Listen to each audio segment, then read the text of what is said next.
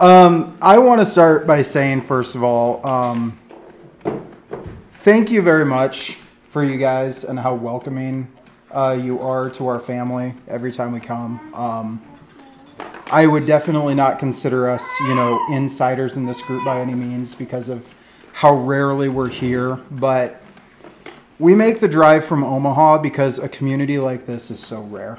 And um, people that are this committed to Christ and this committed to truth are very, very hard to find. Um, and I just want to encourage you guys to continue, continue, continue as much as possible um, in what God is doing here because it is very rare and it's very, very special. Um, tonight, I'm going to be diving into hope, um, and probably not from an angle that anyone has ever thought about before. Um, as we get into this, uh, if you if you follow Corner Fringe Ministries at all, Daniel Joseph, he talks about formula, the faith a lot, and um, ever since I heard him talk about that, I see these quote unquote formulas in scripture all over the place. And in Romans 5, I think we're going to see something pretty profound that if we would press into um, in our walks, um, it's going to drastically change uh, what we how we process the difficult things that happen to us. So, but before we get to Romans 5, I've got to lay a couple groundwork pieces to get there. Um, I'm a big picture guy, and I'm sorry. It's going to take me a minute to paint a picture before we're able to drill down to the details. But the first thing I want us to think about is God's infinite eternality. Has anybody ever sat and just thought about what it means that God is infinite? That he literally has existed. We can't even say forever because forever is a unit of time. He's existed completely outside of that. So when he steps in with Moses and says, I am, that is such a profound statement of existence that, I mean, I've meditated on it for years and years and years, and I'm never going to get there. And I'm not going to get there even when I get to heaven. Because if we truly believe God is infinite, then we need to start thinking about it like this. Think of every single revelation of God that has ever been written throughout history. Think of every single council that's ever written, whatever theology you want to think about or believe about God. Think about any work of humankind that's ever been created gather it all into one place.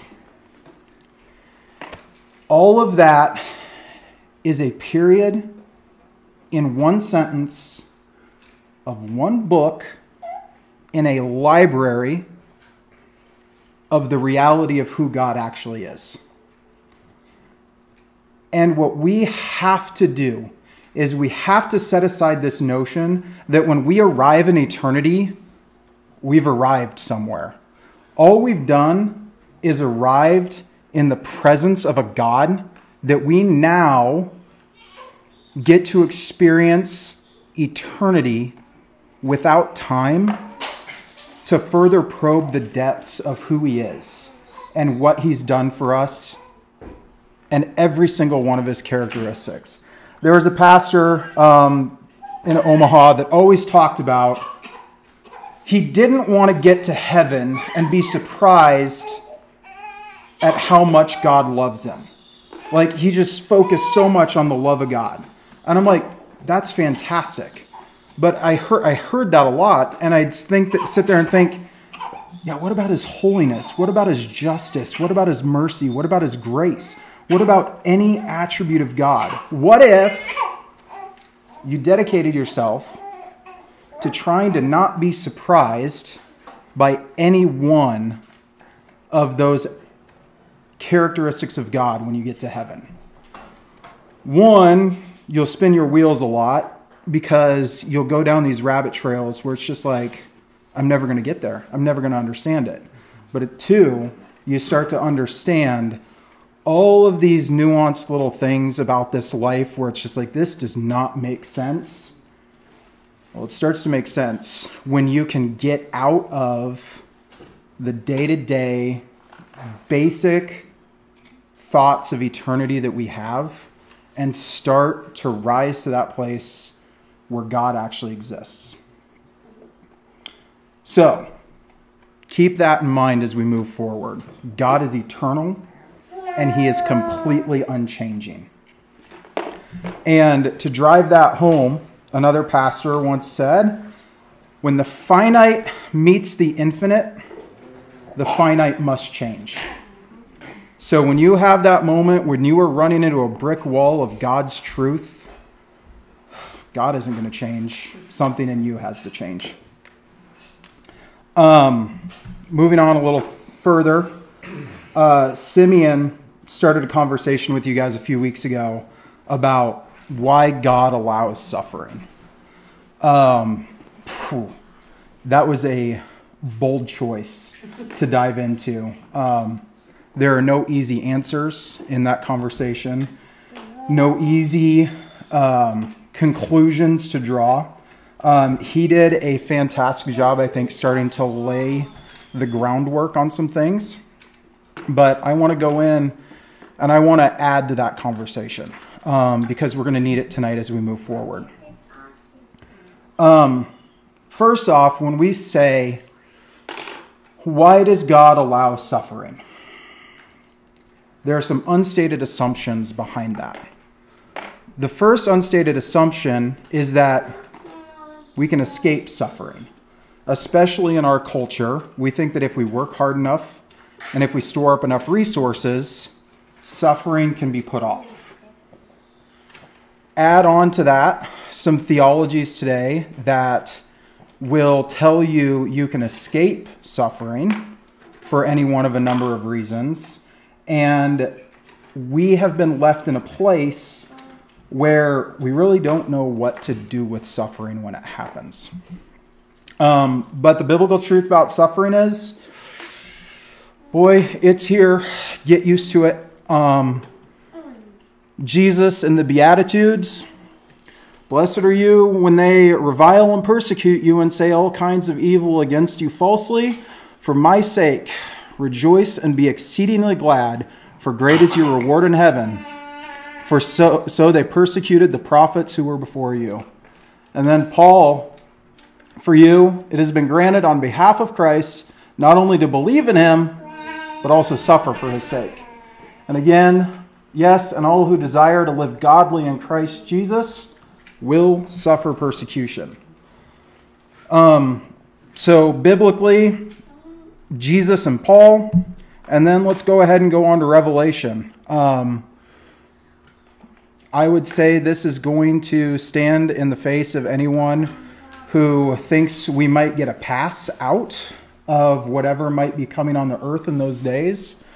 Um, but Jesus says, Because you've kept my command to persevere, I also will keep you from the hour of trial which shall come on the whole earth to test those who dwell on the earth. That's encouraging. He's going to keep us from it. But then, um, moving on, then one of the elders answered, saying to me, Who are these arrayed in white robes, and where did they come from? And I said to him, Sir, you know. So he said to me, These are the ones who come out of the great tribulation, and who washed their robes and made them white in the blood of the Lamb. So somebody's coming through the great tribulation. Somebody's going to be there that experienced the greatest suffering the world has ever known. When he opened up the fifth seal, I saw under the altar the souls of those who had been slain for the word of God and for the testimony which they held. So, biblically, we've got a pretty clear answer that suffering is not going to be avoided. Um, another unstated assumption we don't deserve to suffer. Um, Hang on, let me catch up to my notes. Um, yeah, so This I don't think is biblically accurate either. I didn't get the verse put up, uh, but Romans six twenty six. Um, it's appointed that all should suffer and die once because of our sin. Um, just the sheer fact that we are in sin, that we've committed sin, it's appointed for us to suffer and die. Um, it's also, this assumption is also dangerous because it places our morality and justice ahead of God's morality and justice. We're assuming what is good and right and just with no regard for that which God says is good and right and just. In short, we put God on trial against the standards of our morality and justice. Um, basically, it, it's, it's a reworking of the question why does God allow evil in the world? Well, you're asking that question from what you are deeming as evil and what you deem as right in the world.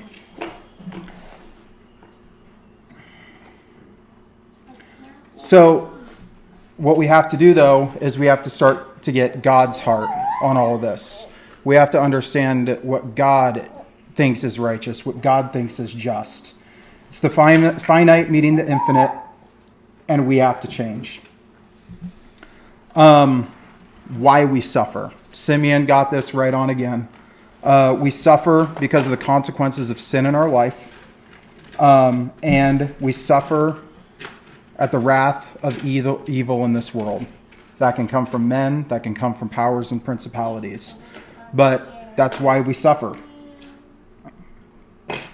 Thinking about the consequences of your sin and suffering from that is vitally important. It's a tool that God uses to purify you and sanctify you. But where I want to focus tonight is on the wrath of evil in this world that comes against us and why we suffer because of that. Um, there is a difference between those two things. And we have to be wise to discern the difference between those because we're going to respond to the suffering of those two things very, very differently. And with all of that said, now we can finally dig in to Romans 5. Um, as we move forward, though, I want to put the term suffering away um, because what we're going to see as we dig into Scripture, the terms that fit more appropriately are uh, persecution, tribulations, and trials. Those are the things coming on the outside, putting pressure on you. So let's get into Romans here 5 1 through 5. Therefore, having been justified by faith, we have peace with God through our Lord Jesus Christ, through whom we also have access by faith into this grace in which we stand, and rejoice in hope of the glory of God. And not only that, but we also glory in tribulations, knowing that tribulation produces perseverance, perseverance, character, and character, hope. Now, hope does not disappoint because the love of God has been poured out in our hearts by the Holy Spirit who is given to us. Paul spent four chapters dissecting the faith, getting to this point right here. Romans, I, it, it's very progressive, it's very linear, it makes sense to me, might not make sense to everybody else. But we get to this point, we've been justified in Christ and we have the right to come before the throne of God as atoned for saints with the full rights of sons and daughters. And then Paul, in English, it's four words, says something that if we haven't stopped already thinking about what it means to be justified in Christ, these four words should stop us dead in our tracks. And not only that, what comes next, Paul is putting on par with what he just said. He's just talked about being justified because of Christ and having access to the throne of God. And he says, and not only that, but something else. Well, what's the something else? to glory in your tribulations is on par with being justified with God through Christ. Uh, anybody ever think about your tribulations like that? I struggle with it, and I'm talking about it right now. um, but we're supposed to glory in them. The tribulations, the trials, the persecutions that we endure at the hands of this world, we are supposed to glory in. So, we move on, and it turns into this little bit of a formula that I, I think it's a formula anyway. And it's cyclical. You're going to go back and forth on some things as you figure it out. But there's a progression to what these things do in our life. So we have the tribulations that come. And the words I'm putting up here are actually from King James translation because when we start getting into the language, it's going to make more sense. But it's also going to feel a little interesting as we go through it. But our tribulations give rise to patience, patience, experience, and experience hope. And then he goes on to say that hope doesn't disappoint. All right. Now, this is where we start to geek out a little bit because I like Blue Letter Bible. Anybody use it? Yeah. All right. If you don't use Blue Letter Bible to get into some of the original language, I highly recommend it.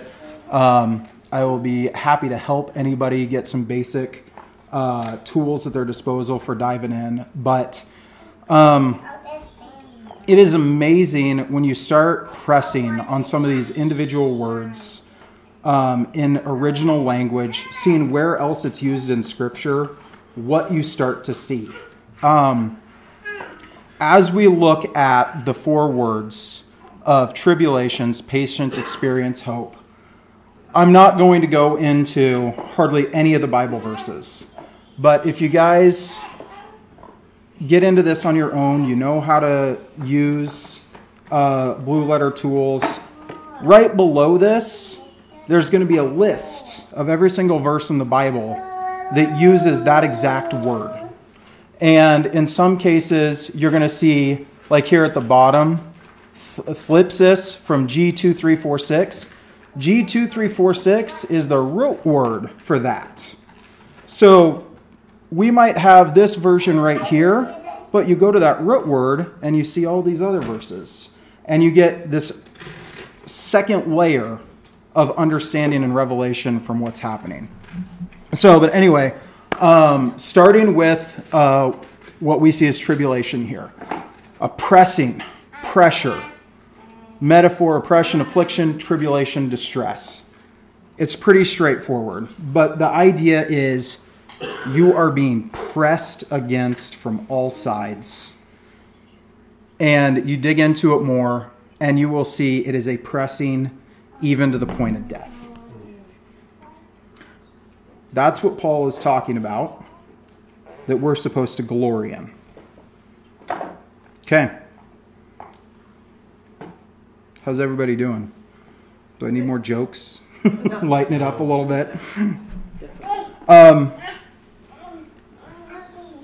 so, this word, like not even going into the root word is used in 15 books in the New Testament. So it is an established point that the Christian church was understanding persecution. So, we as Americans, though, I don't think have much idea on a doctrine of persecution and tribulation. We haven't been taught, we haven't been given it, so we don't know how to respond to it. We're not good at understanding why we're enduring it. We don't understand where it comes from. Um, and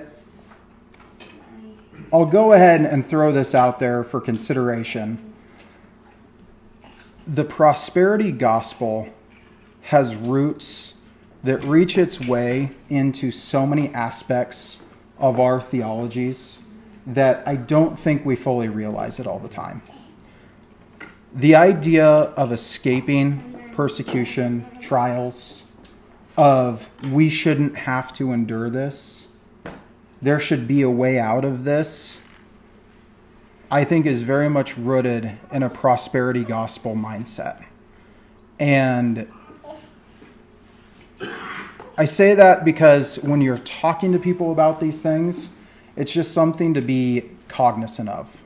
That you're battling against, well, you're battling against a power that's been put out there. It's a false gospel, it's a false doctrine, and you're going to have to deal with it at some point. And So- I would say it's recent. That's it's a very historically recent mindset. Yep. Yep. 100% agree. All right. Mm, what do we want to go to? Okay. So, God uses the pressure of persecutions and trials to produce patience. Digging into the next one steadfastness, consistency, endurance, patience is how it's translated. Um, this is one that's interesting when you get into the root word of it. Um, there was this whole other layer of the idea of patiently waiting on the Lord. And that's why I threw Isaiah 40 31 in here. But those who wait on the Lord shall renew their strength. They'll sh- they shall mount up with wings like eagles. They shall run and not be weary. They shall walk and not be faint. We glory in the tribulations, which leads to patience, because we're waiting for God to show up. We're waiting for God to be our strength and our provision. the persecutions, the trials, it's a testing of our faith in Him to be our provider and our strength. And we go through that. And then you start to realize this is back to the beginning of where I started. God has no timeline that He's trying to keep, time doesn't exist to Him. His only concern is with a finished product. He's, he knows he knows how long your life is, obviously, and he is going to do what he needs to do in your life to refine you to the point that you need to be at to cross over and meet him face to face. But in his eternality, he has no concept of time and the need to meet a deadline. Did he invent time? I don't know. I mean, he certainly created the things that mark time, but does he understand it the same way we do? Absolutely not. All we know is time. Got to get this done, got to get that done. My kids are growing too fast. Time's slipping away. How am I going to have enough saved for whatever point I want to be at in life? It's everything we do is driven by time. The only thing God is driven by is the product. And that's why I inserted Malachi uh, 3 3 in here. He will sit as a refiner and purifier of silver. He will purify the sons of Levi and purge them as gold and silver, that they may offer to the Lord an offering in righteousness. Um, rabbit trail you can go down, dig into what it takes to purify metal. And no one's going to tell you, well, it's a 37 second process to get from this point of purity to this point of purity. Every single time you purify metal, it's it takes what it takes. And you never know how much dross you're going to have to pull off the top. You never know how long you've got to keep that metal in the fire to get to the point that it's truly pure. So God sits as a refiner and a purifier of men. Of women. And that's all he's concerned about, is getting us to that point. So we're going through these trials and tribulations. We are patiently enduring this process. We're glorifying God through what we're experiencing because it's giving rise to this process in our lives that's getting us closer and closer to where God wants us to be. So, this is just my slide reiterating these concepts. He's only concerned he only concerns himself with the finished product. But eternity is waiting for us and we're temporal and finite and have no idea how to prepare for that. Like, has anybody ever sat and thought, wait, when I die, when I'm there, or when at the end of all things I'm taken to be with Him, it's forever. Forever. What are you going to do? What's it going to look like? Are you going to get bored? Are we going to be able to fly? Jesus went through walls. We have a physical body. What is this going to look like? And I think this process that Paul, in just a few words, flies through is the beginning of starting to understand some of that stuff. This process of moving through tribulations to perseverance to pa- or patience to experience to hope is the beginning of that process of helping us to start understand eternity. So, we're patiently waiting, we're patiently enduring, and then we get to move on to what is experience. Proving, trial, approved, tried character, a proof, a specimen of tried worth. When metal's purified before it gets sold, what do they have to do? You have to issue some sort of certificate stating the purity of that metal. And if you are the refiner of that product, you have to be willing to certify and stand behind this is what it is. Because there are tests that you can do on any single metal that tells you whether that metal is as pure as they say it is.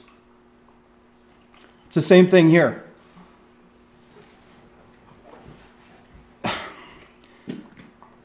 The, the idea that we are not tested in our faith is again one of those concepts, one of those things that I'm just like, how do you look at Scripture? How do you look at these concepts?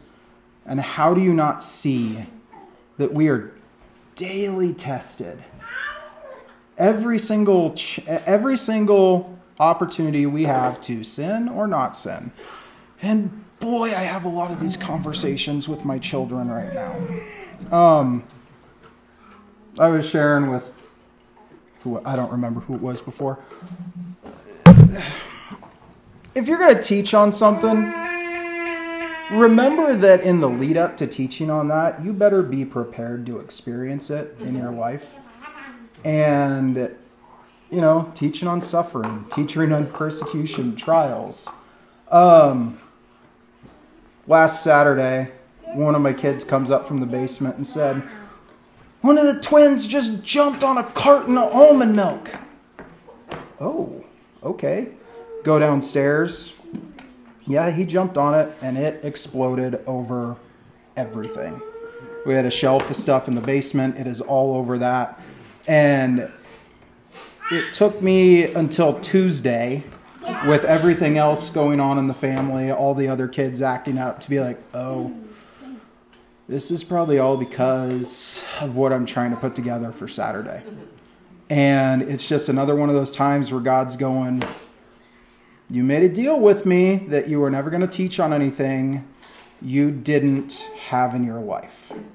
So, do you really believe this? Do you really believe in glorifying in your tribulations? Do you really believe that this stuff is moving you to a place of hope? So I grilled up that sandwich and ate it between Tuesday and Wednesday and started to, you know, calm myself down as the rest of the week went. Hopefully, my wife will attest to that. I don't know, but we'll see. Um, but when we go through those first two steps and we get to the point that we are approved and our character is tried and true, only then do you get to to the point and i'm going to skip that one. That was just uh, going into the root a little more. But only then do you get to the point where you begin to boldly live with a deep-seated confidence in the power that god has given us to overcome and that's why you see paul take the progression in romans 8 that he does where he says, Yet in all these things we're more than conquerors through him who loved us. For I am persuaded that neither death nor life, nor angels, nor principalities, nor powers, nor things present, nor things to come, nor height, nor depth, nor any other created thing shall be able to separate us from the love of God, which is in Christ Jesus our Lord.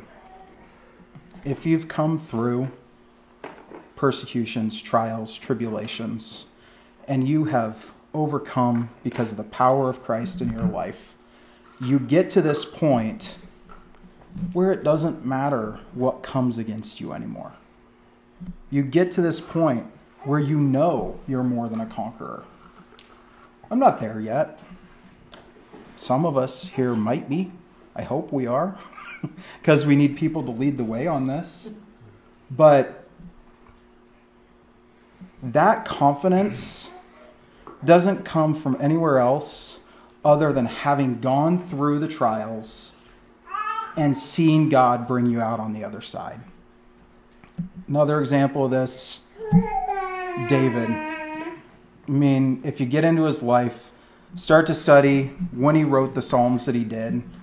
Um, I think Psalm 23 is a great example of man, he's running for his life from a crazy king that he's supposed to take after. And this king used to love him, and yet he's still sitting there acknowledging who is ultimately leading him and what God is actually doing in his life. You prepare a table before me. You anoint me in the presence of my enemies, and my cup overflows. That is bold confidence in what God has brought him through and where he's going. So then we get to hope. Um, dig into the verses on hope. Um, I didn't. I didn't spend hardly any time uh, going into Bible verses on this because there are so many places we place our hope. There are so many people we place our hope in. But at the end of the day, what's the only thing that's going to stand? And that's hope in Jesus Christ. That's hope in our salvation and hope in the life to come. Um, there is an interesting rule or set of rules that people in certain prepper communities will talk about, and it's the rules of three. Have anybody ever heard of these? So they're pretty simple. Three minutes without air, you die. Three hours without shelter, you die. Three days without water, you die. Three weeks without food, and you die. Granted, these are simplified, these are averages, but it's a good way to think about how we live life. So these rules were written, and actually, some people went back and said, wait a second. So we've basically got every single way that we measure time in this list. We've got minutes, hours, days, weeks. But there's one missing three seconds without hope. Three seconds without hope is all Satan needs to plant a thought in your head that you might make a decision on that you never come back from. He knows it. And it's important for us to know it too. That if we live without hope, or we live with a hope that's going to fail us, that three seconds could pop up at any minute. And if we haven't galvanized our character by overcoming the tribulations, waiting on God to be the provision to rescue us from that, this can sneak in and we'll never have any idea what hit us. So, what do we do with this? Like, we know we're supposed to glory in the tribulations. How do we arrive at the point that we can actually do that?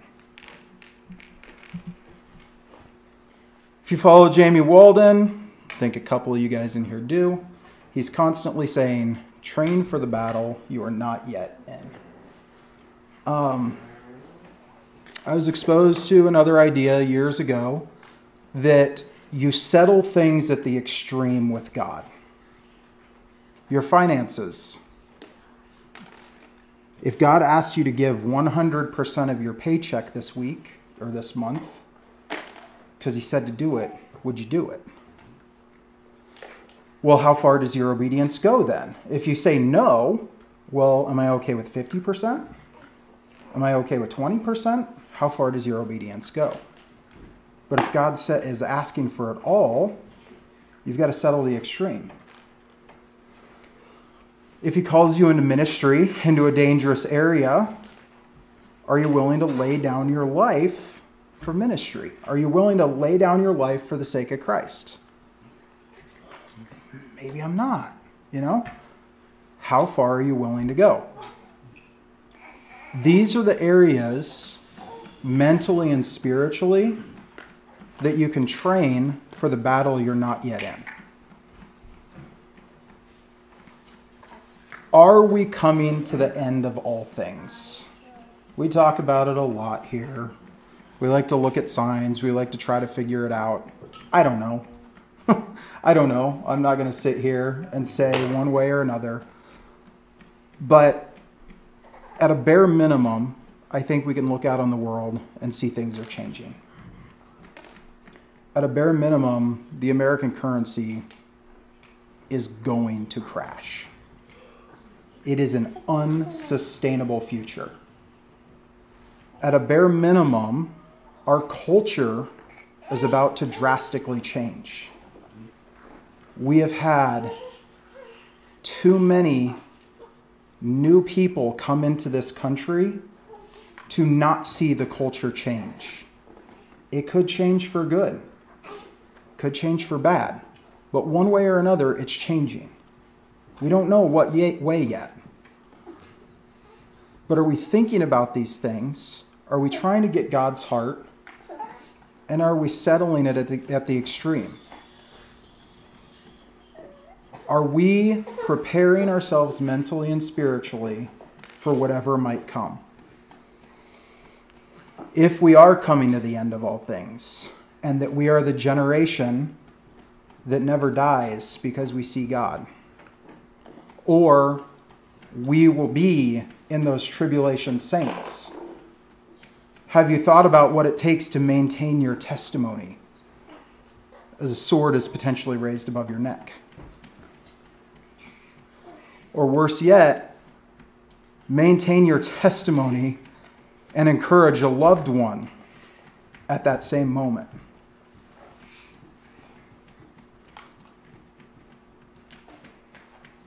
These are not easy things to process, but these are realities that we, as followers of Christ, I truly believe need to be meditating on. Because how committed are you? Will you be faithful to the point of death?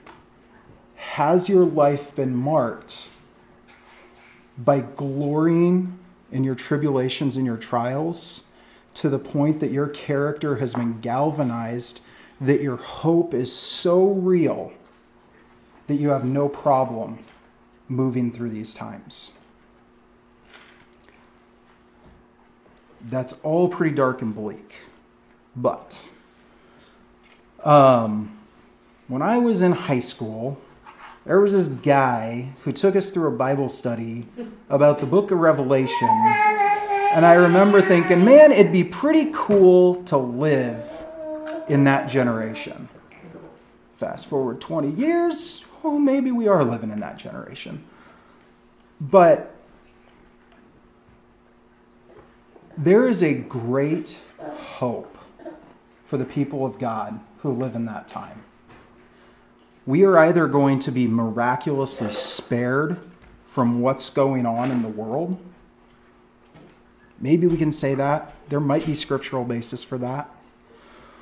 Or we are going to be a people in God's kingdom that experience the greatest tribulation the world has ever known.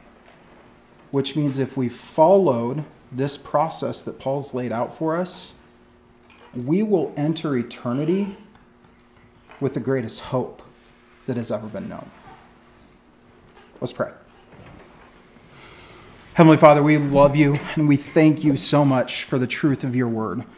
We thank you that you are a refiner and purifier of our lives, and that you are gentle and good to us, and you seldom give us more that we can bear, but you also know what we can bear.